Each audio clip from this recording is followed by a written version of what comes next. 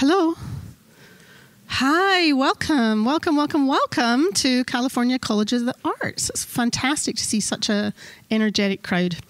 Um, to, this is uh, an incredible event, part of our Design Division lecture series. I'm Helen Maria Nugent. I am lucky enough to be the Dean of Design here. Yay, Deans, Dean, Dean, it's great. I want to just quickly give you a little bit of an overview of what we do here at CCA and an invitation to join us for the rest of the events that are part of this uh, semester's series. And I'd like to thank Chris Hamamoto, who is Assistant Professor of Graphic Design. He designed all of the, the beautiful poster that you see, all of our graphics here. He designed our Instagram posts. And so every semester, I invite one of our talented faculty to, to do all the design for us. So, the design division at CCA, we are about a thousand students strong, believe it or not. It's a lot of designers studying here. And we have nine programs six undergraduate programs and three graduate programs. And we are a sanctuary for creative risk taking. This is how we like to think of ourselves. We're the kind of place where you can come and have ideas, and your faculty will help you explore those ideas. It's a really important thing that we do. And we like to think that what we do as designers matters in the world, so we make design that matters. So tonight I'm super excited. We have Dori Tunstall here. Um, I'm not going to do the introduction because someone else is, but before I wanted to put a smiling picture on there. Um, it's such a pleasure. I got to talk with Dori a bit this morning. I have so much to learn from her as a dean. She's done such incredible work at OCAD, and it was a pleasure, and I look forward to more engagement with you. Um, and I want to uh, thank the faculty who are working on the Decolonial School Initiative, who are really responsible for making tonight's event and the, the yes, thank you.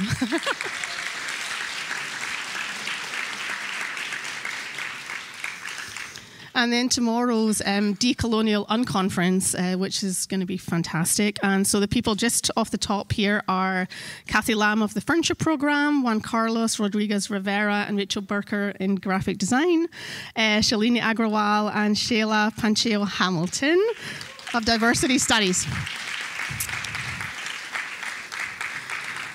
And always our program manager, Christy McGee, who just helps make all this magic happen here for us. So I'd like to introduce and welcome Shaila, who is going to come and introduce Dori. So thank you so much. Thanks for joining us.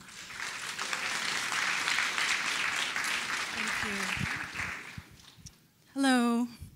I'm going to read a bit, so bear with me while I do this. Um, Alafia and good evening, everyone. Welcome to the first part of the uh, Decolonial Unconference at California College of the Arts.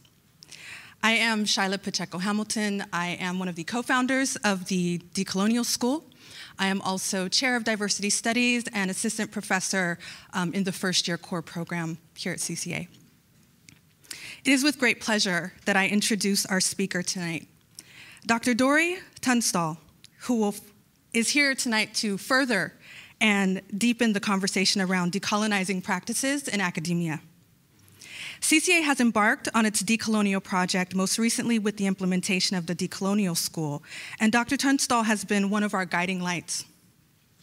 As Tuck and Yang have taught us, decolonization is not a metaphor, but is an ongoing engaged practice that requires constant negotiation between what is thought to be known, what is being taught, what is being produced, and what is being experienced. As we gather together as professors, students, administrators, thinkers, makers, writers, designers, we must come to understand the different forms by which colonization operates external, internal, and settler, while also understanding not all forms of colonization are the same. There are a variety of ways to engage in social justice and education, these arise from the varieties of injustices in education racism, sexism, heterosexism, classism, ableism, capitalism, imperialism, militarism, colonization, etc. Justice movements take on one or more of these centers, but lumping them together is problematic. It leads to a loss of meaning, it leads to a loss of meaningful engagement especially with respect to colonization. It can only serve to reify the settler colonial position rather than challenge it. Our speaker has spent her career helping folks understand where we are situated in relationship to decolonization, its impact on our professional practices and on our pedagogies. As a design anthropologist, Dr. Tunstall is a designer of possibility. It is her belief that opening up the space for people to contribute possibilities is part of decolonization as a community practice. It is in this spirit that I invite all of you to approach this evening and the workshops tomorrow from the space of decolonial love. A colleague of mine, who cannot be here tonight, Yomaira Figueroa, has written Decolonial love demands a faithful witnessing of humanity and affinity across difference. This involves learning to see faithfully from multiple points of view, which in turn requires a decolonial attitude and imagining radical repair and reparation to the modern colonial world. Good people, please join me in welcoming the first Black and Black female Dean of a Faculty of Design from Ontario College of Art and Design University, Dr. Dori Tunstall.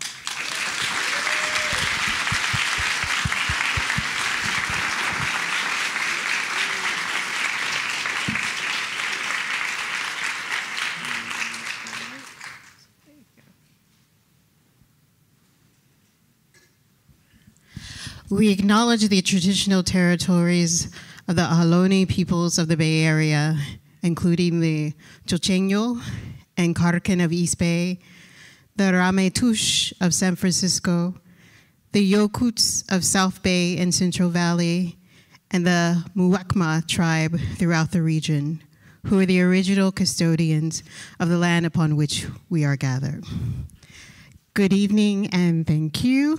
Um, I'm Dori Tunstall, Dean of Faculty Design at OCAD University, and I'm going to talk to you about decolonizing practices in academia, drawing from the work that we're doing at OCAD University in Toronto, Canada. So, OCAD University is one of the oldest and largest art and design institutions um, in Canada. It is actually the third um, largest art and design institution in North America. And I tell you this just to give you a sense of kind of the context of the scope of the work we're doing. So at OCAD, there's about uh, 3,400 students, of which 2,600 are I'm accountable to about 2,600 design students um, of my own as the Dean of the Faculty of Design.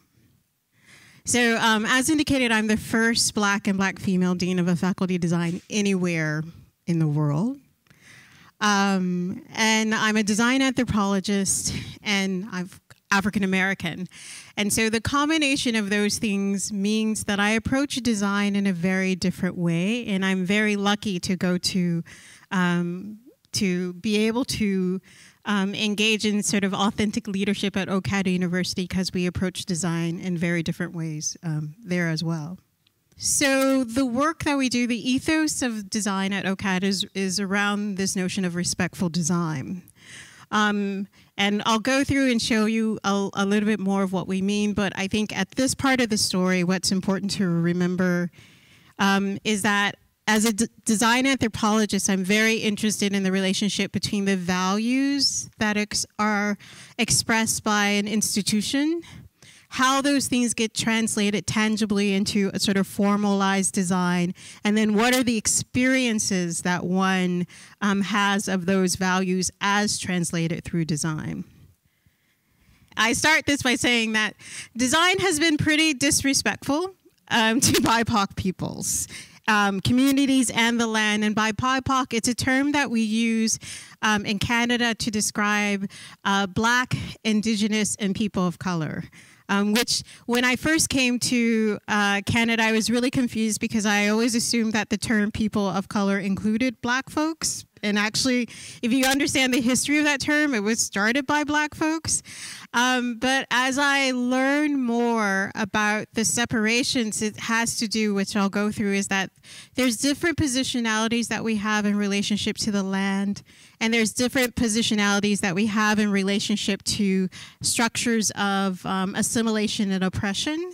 And so I'm going to walk through those to kind of explain uh, what I mean by BIPOC and what do I mean in the, the ways in which design has been disrespectful to those groups in different ways.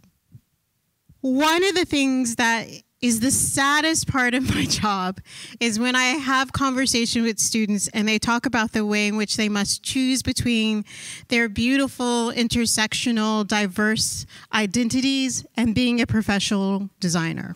And the reason why is that in many ways the values of design have been and still are colonial, white supremacist, patriarchal, and capitalist. I'm, I'm basically eating it. Um, so the values of design have been and still are colonial, white supremacist, patriarchal, and capitalist, which means if you do not align yourself with those values, guess what? You end up feeling like design is not a place where you belong. And the context around this, so Canada, much like the United States, is what Yang and Tuck, which all of you seem to be quite familiar with, call a settler colonial state, which means that within the context of the state, there are three positionalities that one can take. That of indigenous, who are the original owners and custodians of the land, settlers, who came uh, later to build their good life on the land, and then uh, due to um, needing to create a new labor force due to sort of genocidal um, policies as well as disease, uh, groups of individuals were brought in as slaves um, to provide labor. And so those are kind of the three positionalities in the colonial state. What's important to understand is the relationship to the land. So the land itself has been stolen and pillaged. Um, and then how the government works in terms of assimilationist policy, where generally there's policies are set up um, to be genocidal both culturally as well as uh, in language, as well as in the peoples in and of itself against those who are non-Europeans. So this uh, affects the relationship between BIPOC people and design. So one of the big issues, again, in terms of indigenous communities, is issues of um, appropriation and misappropriation. This is an example of, so the British fashion label KTZ stole the sacred design of a Canadian Inuit shaman named Aua. The reason why they felt it was okay to steal this sacred design again has to do with the relationship between the colonial state and indigenous peoples. So again, the indigenous peoples are the original owners and custodians of the land itself. And in the context of Canada, they spent over 500 years fighting against assimilist policies, um, both in terms of the Indian Act, which actually defined who was Indian and not Indian, and then also in terms of uh, the residential schools, which sought to separate indigenous peoples from their languages and their communities as a way in which, in which physical genocide was not successful. They undertook a process of cultural genocide. So the reason why it is considered by those in the settler position that it's okay to steal indigenous sacred design is that in some cases they don't think indigenous people still exist, right? So let's say in the context of asking permission, who do you ask permission from? Now, in this case, the granddaughter of Shaman Aua was alive and actually quite reported the fact that these designs were stolen. But again, this is a way in which design itself is not separate from the practices of government, the practice of colonization. And in fact, for my indigenous students, of which we have a, a, great number of, for our indigenous students, their encounter often with design is constantly reminding them of their non-existence because many designers are taking their sacred symbols and their sacred um, cosmologies and turning it into commercial fashions that are available for everyone.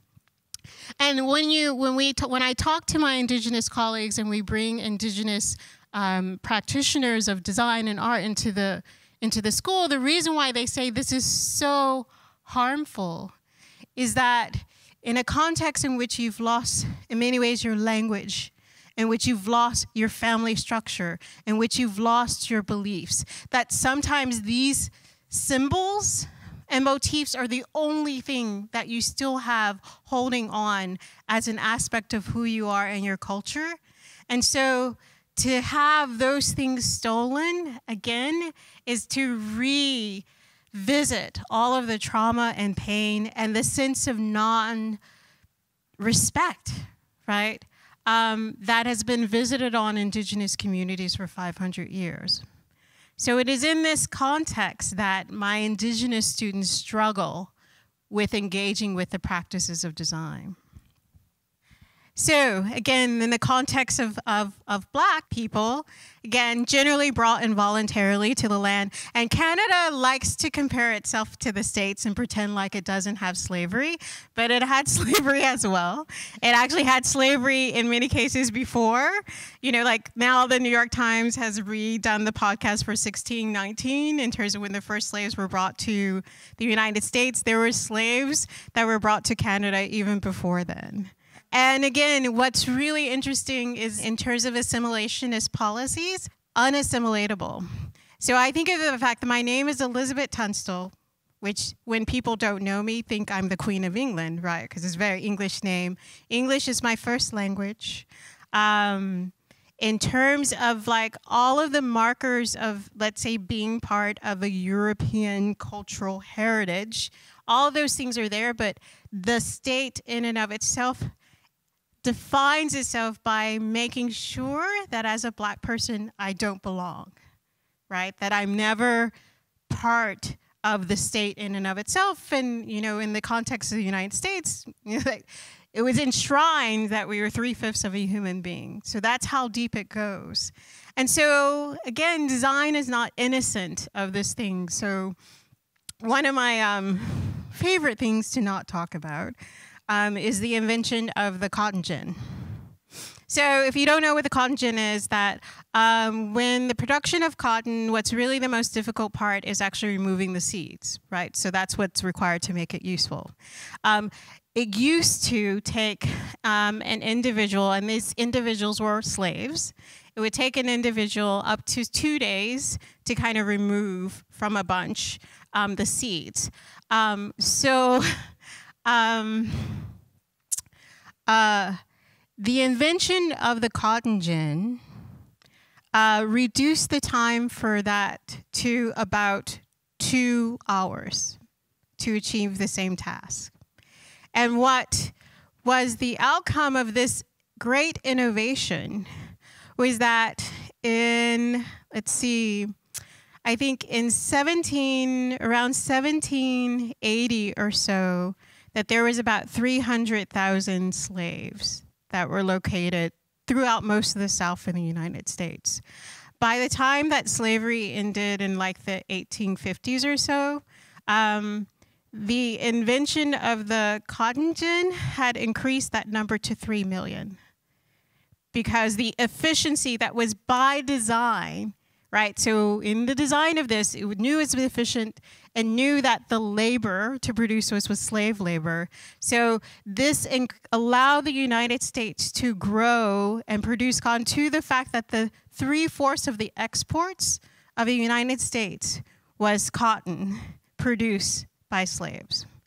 So for my black students, many of whom are either North American or Caribbean, again, design is, is a place where they feel uncomfortable. That design is a site of intergenerational trauma, which um, doesn't often get talked about in our design classes, but they feel it. They feel it in the sense that they feel that there's something about design that they don't quite belong to um, in a comprehensive way.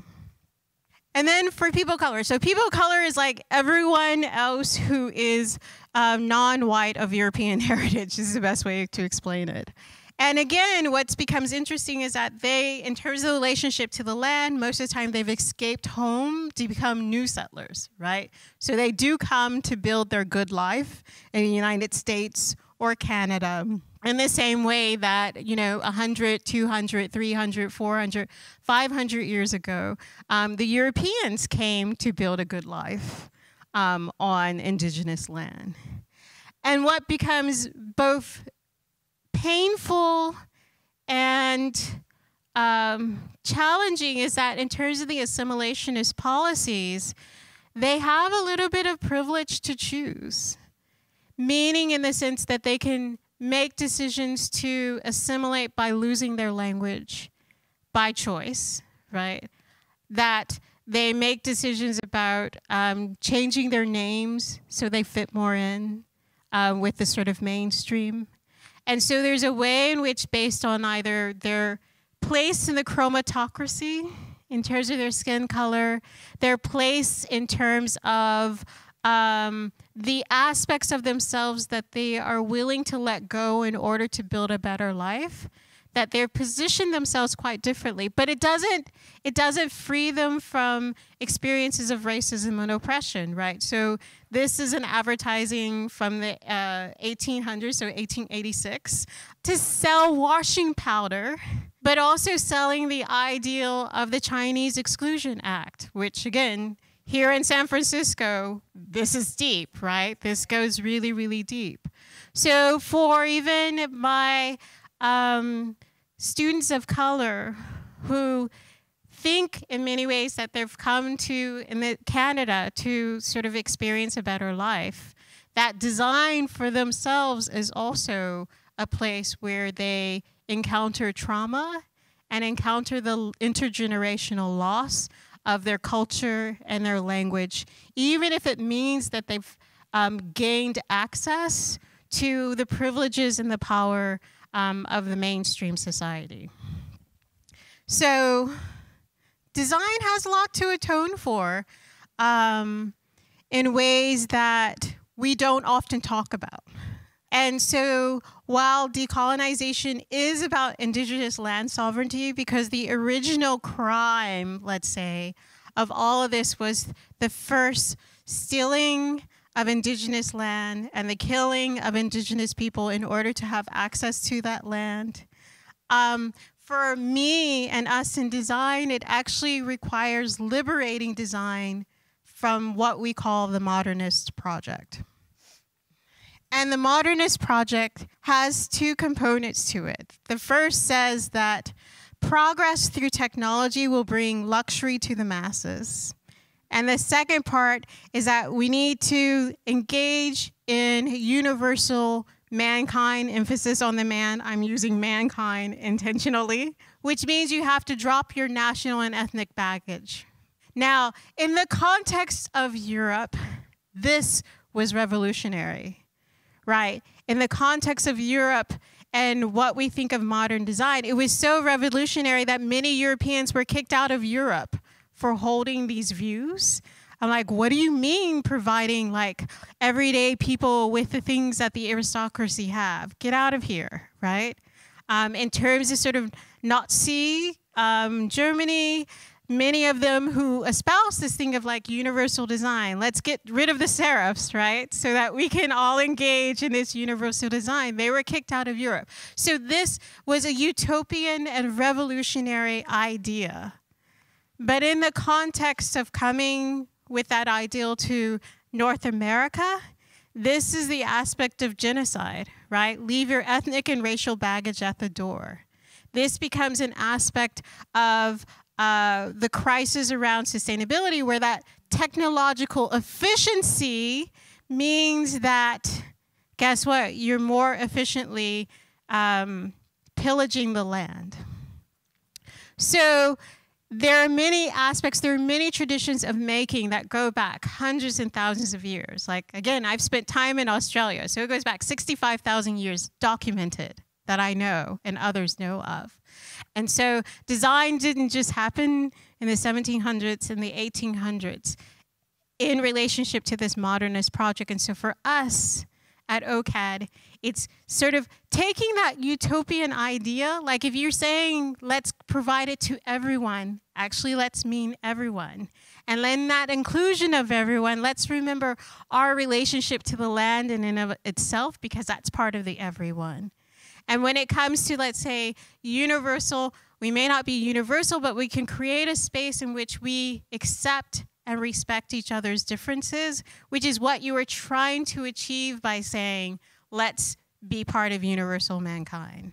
So we can take on those aspects of those projects, but put it in a context of what we call respect, and particularly respectful design. So, OCAD University and respectful design. So when I first arrived at OCAD University, um, I was trying to figure out to take what it means to take the tradition of like des design for humankind, which had been part of the DNA of OCAD for at that time 20 years, and to bring it into a dialogue with the things that I had learned and experienced about how to bring indigenous ways of knowing into um, into a, a design institution. And so within two weeks of arriving, I put together a workshop where I asked the faculty to define what respectful design means to them. Um, and this is the really nice polished version of what they came up with. At OCAD University Faculty Design, we practice what we call respectful design. Respectful design, what does it mean to the Faculty of Design? It means valuing inclusivity and people's cultures and ways of knowing through empathetic and responsible creative methodologies. It means deepening our relationships to the lives of materials and the craft of making. The challenge facing design today is really to reestablish the relationship with nature. In other words, to design ourselves back into the environment. For example, adding the indigenous concept of seven generations to inform sustainable design. Miyuto kakiao awiyak, mishue ite, mina kakiao kekwe. Good design takes a certain amount of humility. We have to recognize that we can do harm as well as good. It's about need over want. Respectful design means acknowledging different values different manners of production, and different ways of knowing. The widest possible range of diversity with respect to ability, language, culture, and beyond. Designing futures with inclusion and belonging for everyone. Come join us here at OCAD University's Faculty Design and find out what respectful design means to you.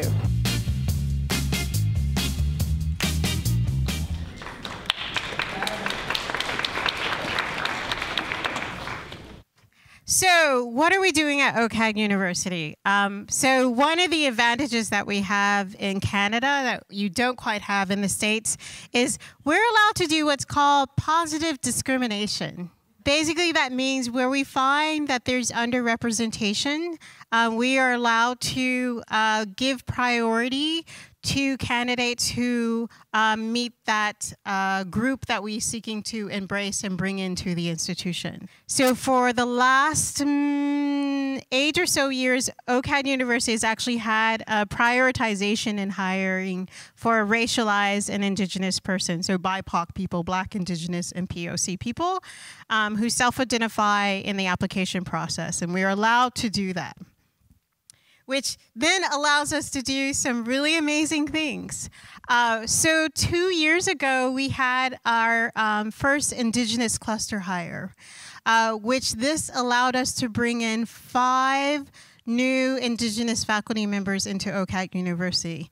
Now, OCAD University has had an Indigenous visual culture program for 10 years. So we've always had, um, at least again, for the last 10 years, Indigenous faculty members. But what this allowed us to do is almost double the number of Indigenous faculty members within one year.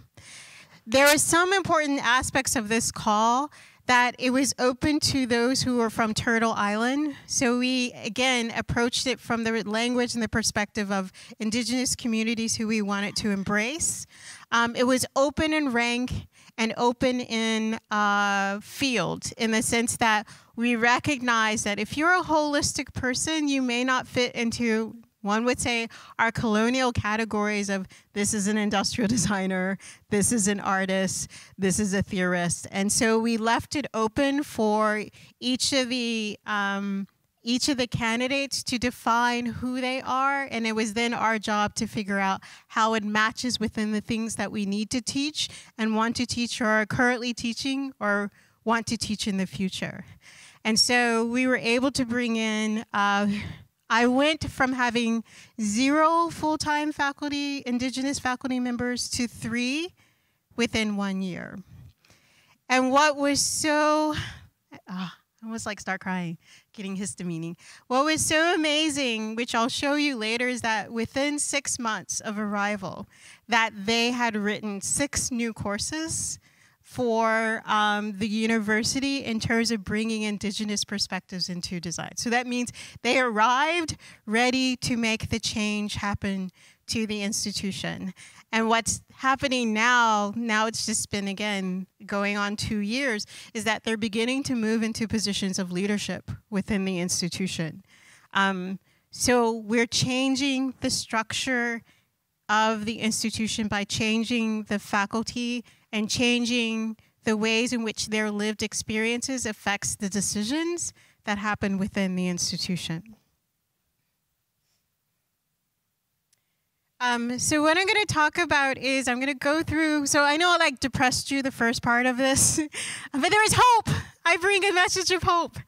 Um, that I'm going to walk through some of the work of our faculty members just to give you a sense of what it is that they've taken this idea of decolonization and changed the way in which they approach their teaching and changed the way in which they've approached their research and their practice in and of itself. Or the better way to say it, they haven't necessarily changed, the institution has changed to allow them to bring the fullness of how they want to engage with the world into the institution and into the teaching. So, as we said, respectful design means valuing inclusivity, people's, people's cultures, and ways of knowing.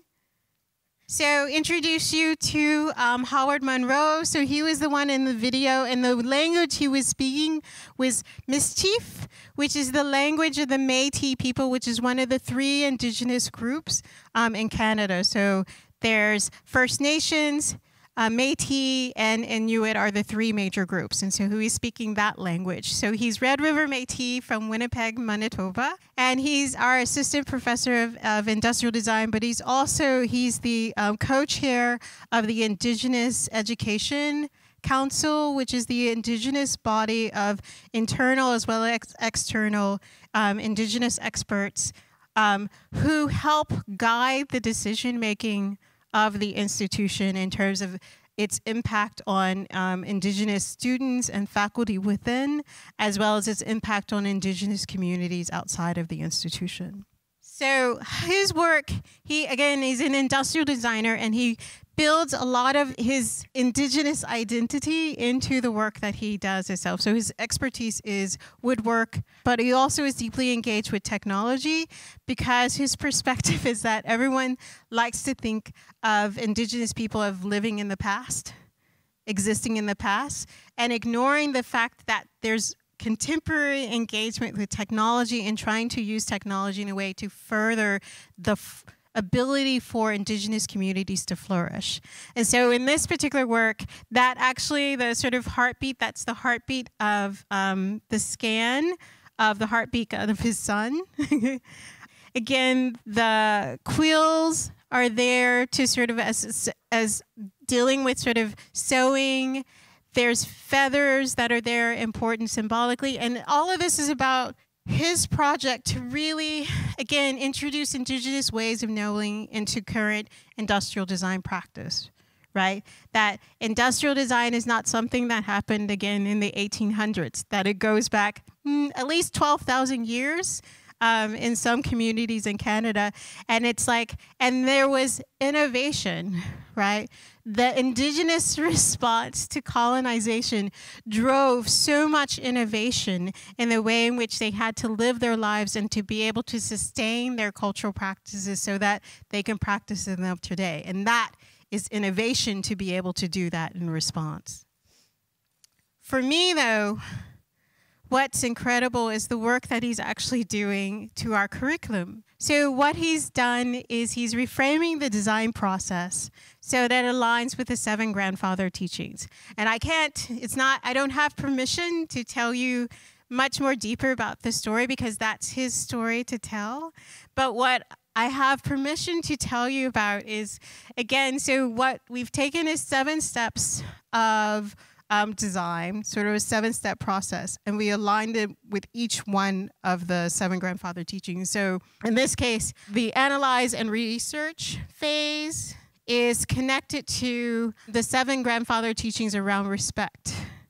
And so the idea is that with respect, it's about how you position yourself in relationship to all those things that exist in the universe. And so if you think about the research process, it's about where do I stand in what I know and what I don't know, and what is it that others know that I can engage with from a relational perspective so that we can share in this knowledge, right? But I have to know where I'm positioned and where I stand in order to be able to do this. And so this is being introduced into our foundation year of industrial design.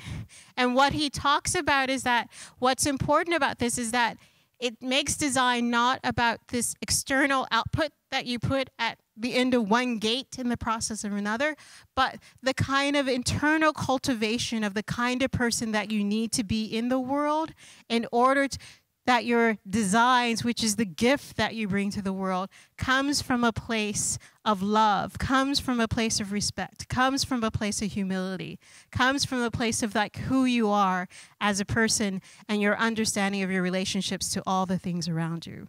So I get excited. Like um, we have a express elevator that goes from the first to the fifth floor, and I always think like my key performance indicator because I'm a dean, so I have key performance indicators, is being in that elevator and having students talk about like, ooh how did you feel about the respects phase, right?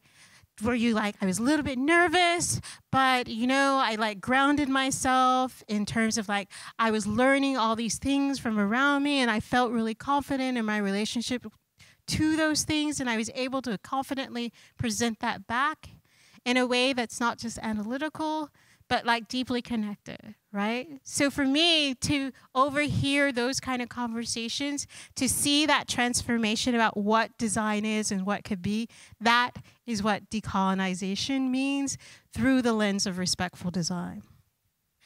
Respectful design also means recognizing that we can do harm as well as good. So I want to introduce you to Sarah Tranum. Um, so she's a European Canadian settler heritage. She's also an assistant professor of social innovation in our faculty. And the work that she does is working often, she organizes our study abroad programs that we do in the summer. And what I love, like, this is how decolonization work. So when I first came, uh, she was doing a project, a study abroad project in India. And um, many of my faculty members of Indian heritage came to me and said, "We hate the work that she's doing. Like, can you can can you talk to her? Right? Of course, I have to talk to her." And um, again, in this context of decolonization, we sat down and we had the hard conversations about what is it that you're doing. What is the relationship? What's the exchange that is happening? Because they were going over to India, doing like a project let's build a like pathway somewhere that using local materials and let's fly out and then the next year go to another place right? And so she did the work. She did the reading. She had the hard conversations. She engaged in dialogue. We had again a course on like indigenous perspectives. She signed up for the course. She did the work so that she changed the location and partners that we're working with. So now she's working in Costa Rica. And the project she's doing is not voluntourism anymore.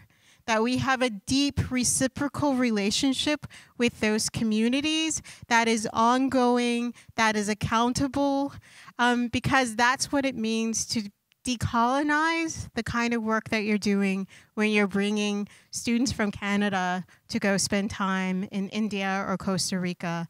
And so for me, like this has happened only in a time of three years. So for me, for her to go through the fact that again, all my racialized uh, uh, professors are complaining to them very being very proud of the work that the students are doing and the relationships they're building that's the potential of decolonization, right? That's potential of change. And it's not just doing it, you know, in overseas. So she builds a relationship with Sketch. Sketch is a community organization that works with um, youth who are um, homeless or at risk of being homeless, and it provides them with uh, uh, design and uh, design skills and marketing skills. So this is a project where, again, they've partnered with Sketch organization to be able to co-design a branding system that will then help the um, Sketch artisans to be able to market and sustainably derive income from the designs that they're doing. And again, it's about accountable relationships. So if we upset them, then we're accountable. We can't run away. We can't get in a flight. Um, we have to sit in our discomfort of what is disrespectful about that relationship and make amends to make it right. And that's the way in which we, again, are entering that space. That's the journey that Sarah's gone through around the relationships he builds with the partnerships that we have. So, respectful design meaning designing ourselves back into the environment. Um, so, this is James Miller. So, he was one of the candidates that we hired from the Indigenous Cluster Hire. So, he's of Kanaka Maoli, a native Hawaii and Japanese American uh, ancestry. He's an assistant professor of environmental design, and he's our expert in dealing with climate change. So his research is with the communities of the Marshall Islands, and basically their island is dropping into the sea because of climate crisis.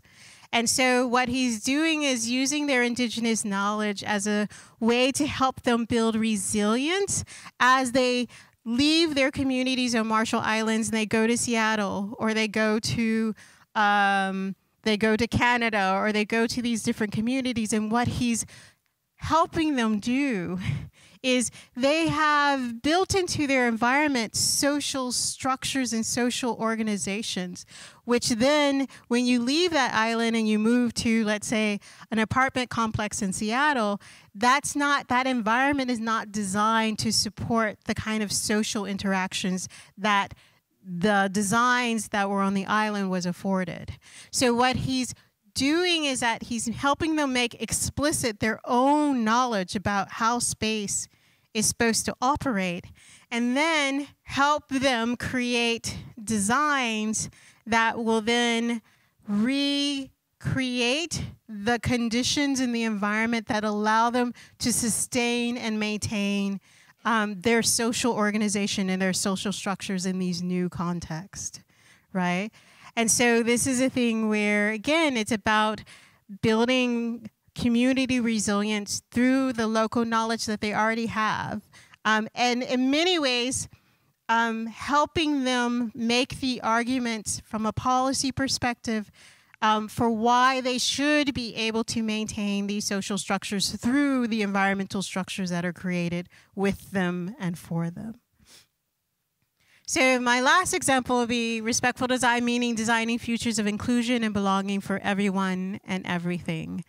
This is Ronnie Lee. She's Canadian of Chinese heritage and assistant professor of industrial design. And she leads this amazing project with the um, Toronto Center for Community Learning and Development. They have a sewing circle which is made up of newly arrived uh, women. Many of them are um, coming from Syria. And they come with a tremendous amount of skills around cooking and sewing but they need a way to make money, right? Income from those skills. So, what she's done is she's taking the classroom into the community. So, once, one day a week, the students go to Regent Park and they learn there. And the women teach them how to sew because, again, sorry, apology, but many of you young people today do not have the strongest skills and soft skills in sewing. So the women teach them how to sew because they have exceptional skills in sewing. And then what the students do is that they bring, in some ways, their design thinking and facilitation skills. So they go and they do research and observations and they help develop innovative products that are related to the things that are happening in Regent Park. And then they, women and the students, design things together, and the prototypes then become the things that the women manufacture and sell in their store. And so I'll give you just sort of some examples of the work that the students did. So this is called the Relocation Project. So I really like this bag by um, Sydney Colleen Sturgis, where it came out of observations of the people playing. So in Regent Park, there's a a sports center that has swimming, basketball, bunch of other sports, and observing the way in which. Uh, let's say, what was happening on the basketball court and the way in which the, the young people needed to carry things, or those coming out from the swimming practice and the way they needed to carry things. So the bag has this sort of basketball net thing, but that's for where you could put your wet clothing, right? So that it doesn't get onto your dry clothing that you can have or the things that you have inside the bag. And so the color scheme comes from the color scheme of, of the design of the inside of the uh, sports facility. And so it's kind of branded within that. And again, it's just a thing where, um, and it's easy to manufacture. And so, like with the bag, the white bag over there, that student Tyler, that was his first sewing project, which this is like the final prototype. So I assure you, the first prototype didn't look as good. But through working with the women, who again were exceptional sewers, was able to build up his skills so that he could produce this right by himself. And so again, this is a thing where it's like we're not coming into a community to uh, to help, so to speak. We're coming, embedding ourselves in a community as part of that community and then learning together, right? And it's happened there because in some ways the women were too intimidated to come to OCAD University on campus. I don't belong there. But our young people belong with them in the community, and so it's easier for them to be there. And now the women, guess what? They're not intimidated by coming to OCAD University because it's now part of their community. So for us, respectful design is again, addressing the way in which culture and ways of belonging go together. So, right now, I'm in the middle of a Black cluster hire where we're addressing the underrepresentation, I would say the zero representation of Black people in the faculty design for 144 years. And for me, what's really important about this is this is from the actual call itself, right? The actual position descriptions. First of all, we're recognizing our 144 years of neglect. I cannot tell you the number of negotiations I had to have to have that included in the language. And what it is that's really, really important is that we used, we didn't talk about be in this industrial design program or be in this program. We said, are you interested in black explicative futures? Because that's what we want to bring into our community. Are you interested in the relationship between hip hop aesthetics and the business and social justice of design? Because that's what we're calling for into our institution. And so we recognize what was resonant with the community, and all I have to say is that the community has responded beautifully. Like our pool is so deep that the institution cannot believe that these people existed right? And I was like, I know they exist. But you have to call to them. And so what we're learning is if you be authentic, if you be truthful, if you own the fact that, yeah, you know, for 144 years you might have screwed things up, right? If you're honest about that, that that creates the conditions in which, again, for me and my students, you could be a professional designer and be all the beauty and diversity of who you are, and that will be celebrated. Like we've been doing, like again, some of the interviews, and and what the response has been from the candidates is that this is the first time I've seen who I am celebrated by an institution. So that's what respectful design means to us. And so I've asked you to find out what it means to all of you, and that's what the decolonial school is really about, is trying to find out for you, what does this mean? How is it possible? And then have hope. Because I started out, you know, I could tell the energy, you were so depressed. You're like, I'm about ready to leave design. I'm going to find some other field. But there is hope, right? That you can make the change. And it doesn't take a lot of time to make the change. It just takes that commitment and that passion and that understanding and that humility. The most important thing is that humility to understand that there's so much that you need to learn. And the only way you can learn it is being open to other people who have that knowledge. Um, and then bring about the change. Like everyone's like, oh, the work you're doing is so aspirational. I hate that word, right? because you just do it. No one, we didn't get any extra money to do these hires. We just had lines that, you know, basically due to retirements and people leaving. And you know what we said? We're going to commit ourselves to this, to make this happen. So it didn't take extra money. It didn't take anything except the thoughtfulness that this is important. So let's just do it now. Let's be the change now. I was not going to wait for 145 years for there to be a black faculty member, right?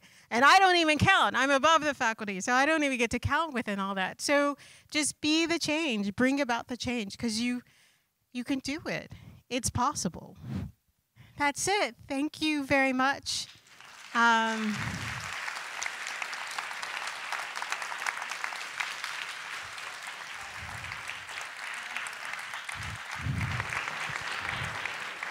enough time for questions?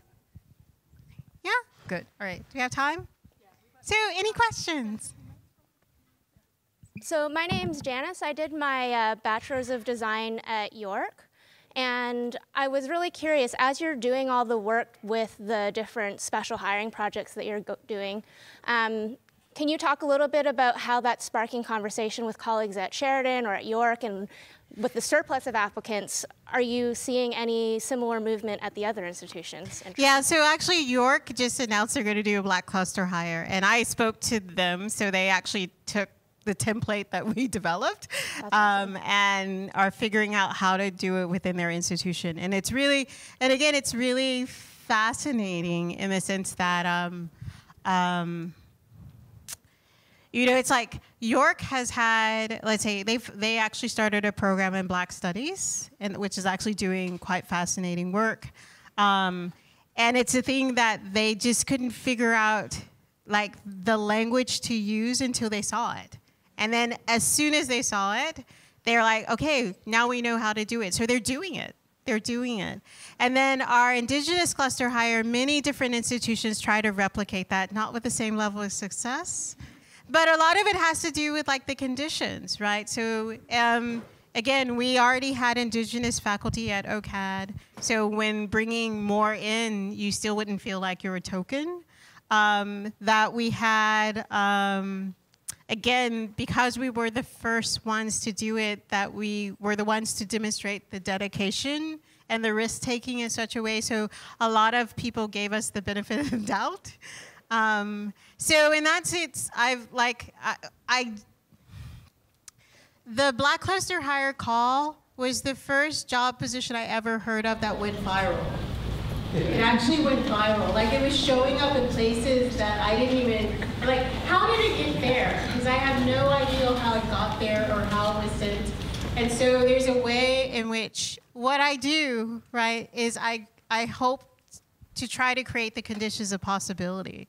And so just by, in some ways, the institution trusting me and me trusting the institution, we're, we take the risk, right, to show what's possible and cross our fingers and toes and hope that it all works for the best with the understanding that um, it's not just our intentions are good, um, but that we're, we're very much dedicated to making this change happen. Um, and so, so others are definitely seeing it and trying to figure out how they can do it and which aspects of what we've done is applicable to what they can do. But definitely, like in the Canadian context, everyone's going to have a black cluster hire next year. And again, what's great is that the pool was so deep. The pool was so deep, like I'm not even threatened by it, right? I'm like, if I I'm going to ask permission to send the names of the people that we spoke to who we couldn't accept, because again, we have only three positions that we're going to do, and I tell you, our pool is much, much deeper than that, right? So, yeah, like I'm, you know, I say Canada was the, you know, endpoint of the Underground Railroad, um, and so in a time where um, sometimes things feel really bleak. We hope to be like again that that possibility of hope, um, and other institutions are watching and listening, um, and hopefully uh, following. And like I said, I will send you anything that you need or want. I can explain to you how we did it step by step, um, because we want to change. Um, we want to change the relationship between people and design right? We want it to be a source of um, joy and not trauma. And like I said, the first half, there's a lot of trauma, and we have to like recognize that and accept that, but change it as well. Thank you so much for your talk and for being here. Um, my is Pam Daniels, and I teach design at Northwestern University. We have a tiny little campus out here in San Francisco. Um, and I'm curious what attracted you personally to the field of design in the face of so few people like you? I was a designer before I heard the term design. Um, so, again, I've always, like, when I was a kid, I was always in art classes. Um, and then when I, um, and so when I was doing my work for my PhD, like, you know, you're supposed to do like a weekly response. And sometimes my professors would get a drawing. Sometimes they would get a comics, you know, graphic strip. Uh, sometimes they get a word essay. Not always. If they did, I would do drawings on the margins of it, and I, they would give me bonus points, so they were really encouraging in that way. So there's a way in which I was always interested in the relationship between like form, content, and context. So each chapter of my PhD actually had a different structure um, based on the, I did my research in Ethiopia, so based on the vernacular mode of expression, I, each chapter was different, which totally freaked out my committee, but whatever. um, so when I went to do my first job at Sapient, and I started hanging out with designers, I was like, oh, I found my people because I didn't quite feel like I belonged in anthropology. Um, and then I started going to design conferences and felt I didn't belong there either. Um, and then I started community, creating a community around design anthropologists. So building programs and things so that people who were kind of hybrid could find a place. I always like my programs were like the land of misfit toys. Um, and um, and so and that's continued, right? That's continued. So I go to design conferences and I complain about the lack of depth, and then I go to anthropology conferences and I complain about their poor communications through their visuals. Um, and then I go to community conferences around people who are really bringing the depth and bringing that uh, understands the importance of clear communication and um, feel at home. And some of them I've, you know, I've trained or mentored myself. So that's kind of, um, and I love design. Like I love, you. Uh, it's so hard to explain to people how powerful it is to be able to take some abstract ideal and give it a tangible form that allows people to engage and interact and negotiate and argue and find joy through that form. Um, and so, um, and so I love the beauty and the power that comes from that that moment of transformation that designers bring, and um, and just happy to be part of that community, right? To be able to contribute to that community. Good evening, Dori. Uh, my name is Ricardo Gomez. I'm a professor over at the School of Design at San Francisco State. Um, so I had a question just in regards to what you started out with, with the whole kind of alienation or intimidation that uh, would seem to um, alienate the gravity of more people of color, be it uh, mm-hmm. uh, indigenous culture, people of color, black people, to design.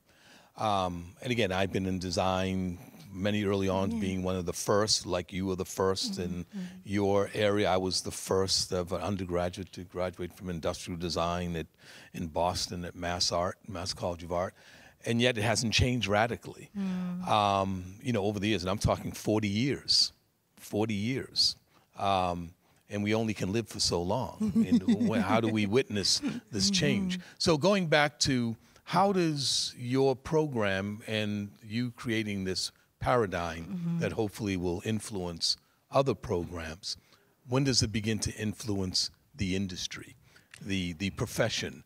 Because it's the whole notion yeah. of build it and they will come. Well, they well we don't have anybody. We we can't find them, um, but they don't encourage them. Yeah. So how do you begin to impact the real beast uh, in of where design really flourishes? So the advantage is I'm in Toronto, and so it's very easy to have those conversations because, again, if you're in Canada and you're in Toronto and you want to survive as an industry, you have to be you have to bring the diversity and inclusion. Because again, Toronto is the most diverse city in the world. So if you're not speaking the language, if you're not connecting to the experiences, you're not going to survive. And Canada is a small market. You can get away with that in the States, right? Because it's like, oh, I have so many people that I can do. You can't do that in Canada, right? You can't survive in Canada without doing that. So, in that sense, my job in the Canadian context is easy because it's just making awareness. So, it's like a couple of weeks ago, I had a meeting with the um, general manager of Instagram, Facebook Canada. And, and it was really interesting because, you know, like, um, we met. He didn't read any of the materials that I sent ahead of time and whatever, whatever. And then I was explaining what it is we doing. He's like, this is the best conversation I've had all month. And it was the end of January, so it wasn't, you know, so it was real, right? and um, and then he's like, I need to come to OCAD. I didn't even know what you were doing. I just thought this was a little art school and what you're doing is amazing and tremendous and i don't know why it's not over all over the city and i was like because you're not promoting it all over the city so help me right I keep it real um, so in that sense the conversation is easier but again, like I've been to, I deeply involved with the Design Management Institute. They've had two years of their um, diversity and inclusion conference. And again, you're sitting there with like the head of global design for 3M, and they're talking about diver- they're showing you the work that they're doing around diversity and inclusion, and not just from the global perspective, but figuring out, okay, I might be a global company, but what does diversity and inclusion look like in India? What does diversity and inclusion look like in the States? What does diversity inclusion look like in Mexico? And so there are the big players in many ways are thinking about this. Like again, Google's built to 200 people. Uh, um, uh, diversity and inclusion team again just in the last couple of years um, so in that sense industry is shifting because they're realizing they can't survive you know pop demographics in and of itself says you can't survive right um, the thing in terms of like the pipeline issue um, is like I said, the pull for our call was really deep. And you know why it was deep? Because we spoke to them in a way that they actually heard, right? And so to me, it's a thing that like the people are there. Um, you just have to connect with them. And you also have to like um, change your idea of what it is that you need, right? Um, you need people who are smart, creative, um, kind. Kindness is very important um, and who are willing to learn and grow. And then that's it. The rest can be taught or trained or whatever. If they're smart, they can pick it up. And so the ideal, and we run into this all the time, even with this search, like, we have to have the perfect candidate. Right? And I like, long conversations around, but you do know that that perfect candidate you described would have to go through this, this, and this, and this, and this, and this in order to be that, right? And that's not what you want, actually. So, in that sense, the work is also breaking down the expectations of what it is that you want and what it is that you need. And for me, it's about what you need are people who are aware of how their lived experiences impact their work and their connection to communities, right? That's what you're looking for. And like I said, everything else you can learn or train, right? That's the stuff you can't teach. And if they don't have that, then then you have some of the scenarios we're talking about today where you have technology that's racist and creates further structures of oppression, right? Um, so I'm lucky in Canada that those conversations are easier to have, but I also travel all over the place, right, to talk about what we're doing to industry to change their ideals of what's possible, right? And they're listening because they know their survival depends on them changing, right? Um, and like I said, I build the networks of people to be able to support that. At OCAD, I have a Black Youth Design Initiative. So we're starting with the 8 to 12 year olds. Um, 8 to 12 year olds, me, uh, a couple of our students, uh, maybe a professional designer. We come out, we spend three hours. Imagine, make, and connect. Imagine your problems, imagine your solutions. Pick one. We're going to make something. You're going to make something tangible, respond to it, and then we're going to connect what you've made and the problem to wider society, namely colonization and racism. And you have something to take home. We'll introduce you to a bunch of designers that you didn't know, both local and international, so that when, because it starts at 8 to 12, someone's starting to discourage you from drawing, because what are you going to do with that drawing thing that you do? It's like, well, I'm going to become director X, right? And I'm going to be making movies because, you know, he started out making flyers for like parties. That's where he started. So I'm going to become that. And I can get paid so you don't have to worry, especially immigrant parent, mom or dad. I'm not going to worry. I'm going to make a living doing this and doing what it is that I love and enjoy.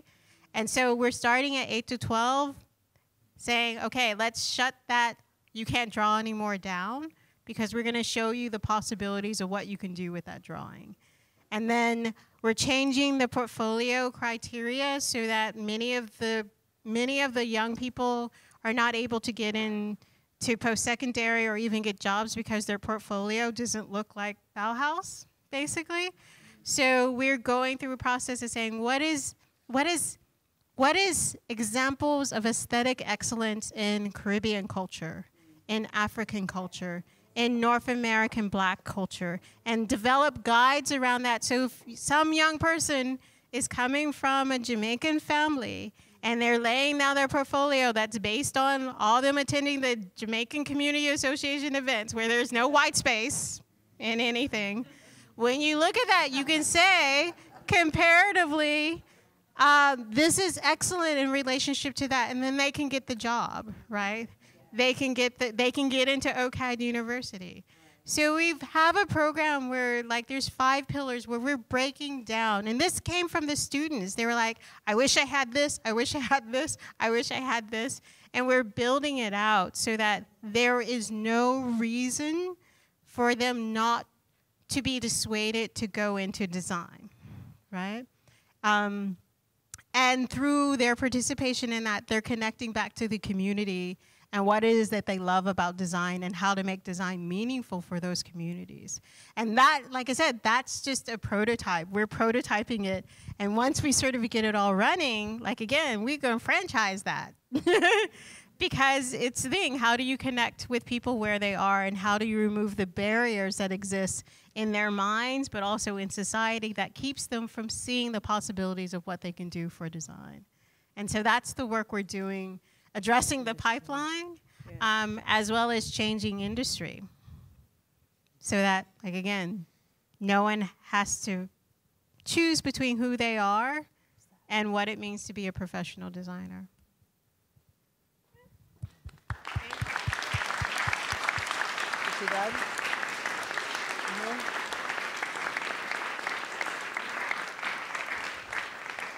Oh, okay. Thank you, everyone. And before you leave, um, I'd like to thank Dr. Uh, Tunstall for being here this evening. Thank you.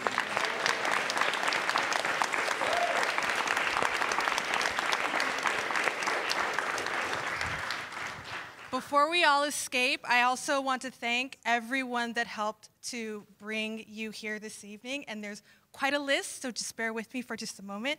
Thank you to the Design Division, the Fine Arts Division, the Furniture Program, the Graphic Design Program, Diversity Studies Program, Critical Studies Program, the President's Diversity Steering Group, Curriculum Committee, the Decolonial School, and of course, Shalini Agrawal, Catherine Lamb, Juan Carlos Rodriguez Rivera, and thank you very much, and we will see you tomorrow.